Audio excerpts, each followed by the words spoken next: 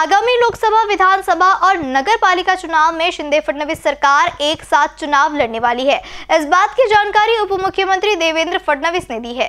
हो, खरं आहे, काल आमची या संदर्भात बरीच चर्चा झाली आहे आणि सगळ्या निवडणुका एकत्रित लढायच्या, त्याची एकत्रित स्ट्रॅटेजी तयार करायची आणि पक्षात, दोन्ही पक्षांमध्ये जिल्हा स्तरावर, तालुका स्तरापर्यंत समन्वय घडवायचा.